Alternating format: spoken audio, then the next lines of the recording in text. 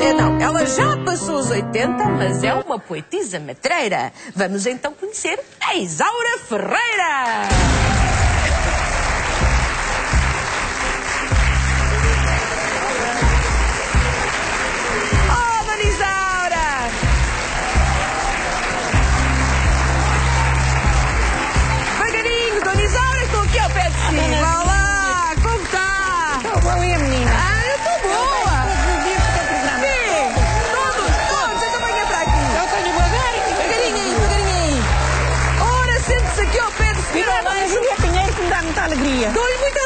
Muito do programa dela e faz muita companhia.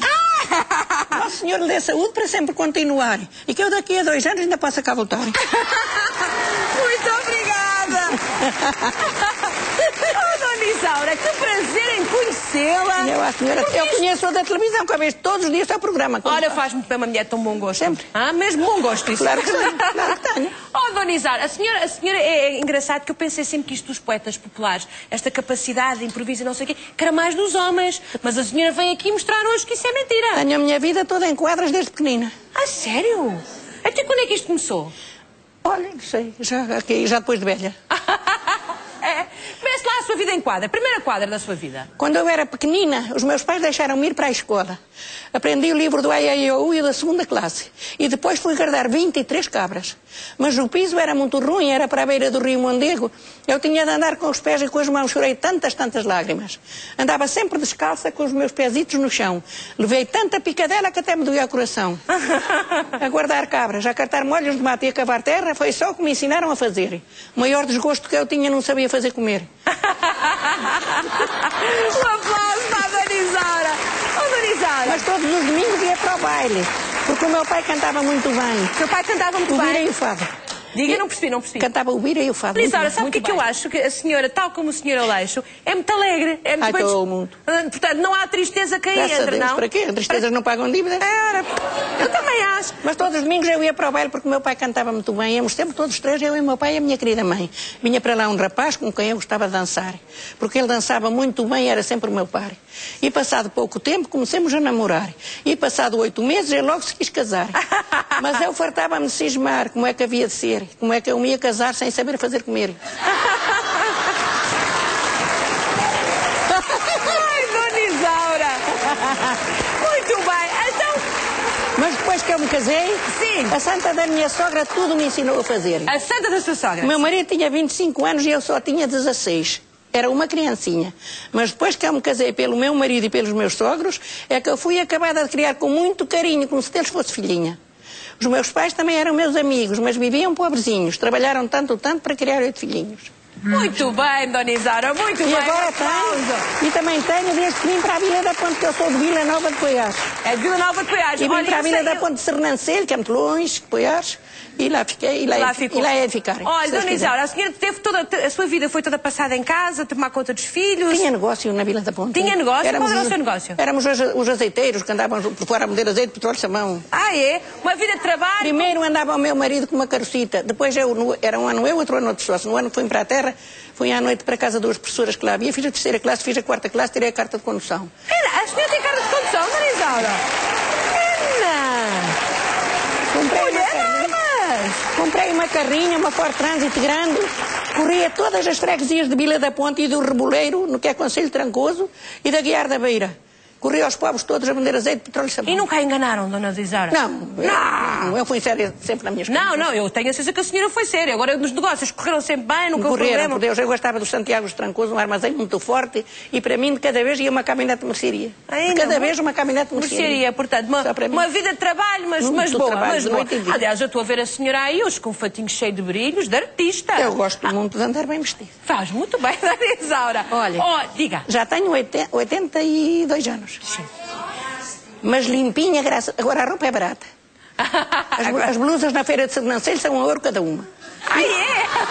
Olha, pois, tem uma boa indicação para entrar às compras. Palavra de honra. Palavra, palavra de honra. Acredito! Palavra de honra. Eu já comprei sete dessas blusas, já tinha muitas. E agora, suja nunca e ando por Deus. Ai, Dona Isaura, claro, claro. Mas a senhora então é muito vaidosa, muito limpinha e vaidosa. Não vaidosa não sou, mas limpinha sou. Está bem. Ora, a dona, Isaura tem 82. O Aleixo, 69, não é? Tem 69, falta 3 meses para o 70. E, mas estão aqui ótimos. Agora ainda tenho de canto Então, os poetas são assim. As poetas são... É que- Diga, diga. A pessoa, quando é talentosa, também é mais saudável. E é alegre. Isso dá saúde às pessoas. Concorda, dona Isaura? Sim, sim. É? Olha, agora ainda tenho desde que, vim, de- desde que vim da minha terra, que eu sou de Vila Nova de Poiás. Sim. E vim para a Vila da Ponte com 29 anos. Sim. E tenho tudo em quadras desde vim. Já percebi, já percebi, que já nos contou alguma. Olha, e filhos, quantos tem? Tenho três. Tenho dois. Tenho dois. Tenho cinco netos e dois filhos. Quantos? Cinco netos? Cinco. Dois filhos. Tem alguma quadra para os filhos ou não? Não, o meu filho era o chefe das finanças. Agora já está reformado. Aham. E a minha filha esteve em França Portanto, chefe 23 das finanças não dá para quadras, é? Não, não, sei, Não nenhum- entusiasma muito, não entusiasma sei- muito. nenhum saiu a mim, nem o meu filho, nem o meu Não, filho. ninguém, ninguém faz essas Eu coisas até digo às vezes as neiritas e tudo para a gente saber.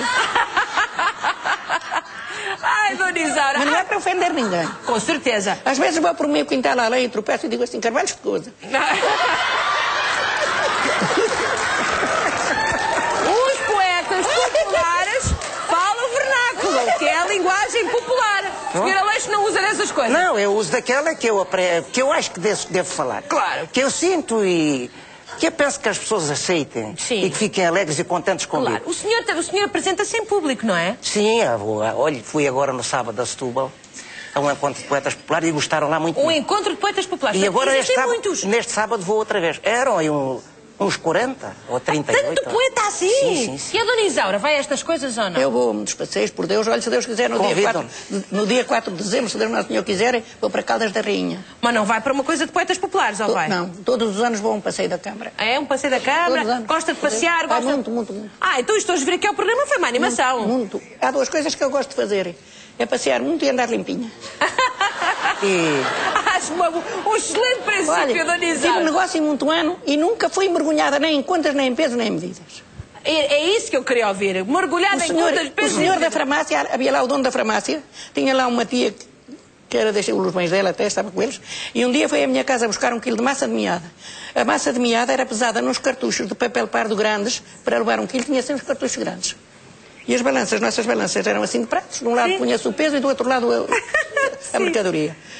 Nisto, a- a senhora- uma senhora que ele tinha lá, que era tia, chegou, foi lá buscar um quilo de massa. E nisto chega lá, ó senhora Isaura, faltam 100 gramas de massa.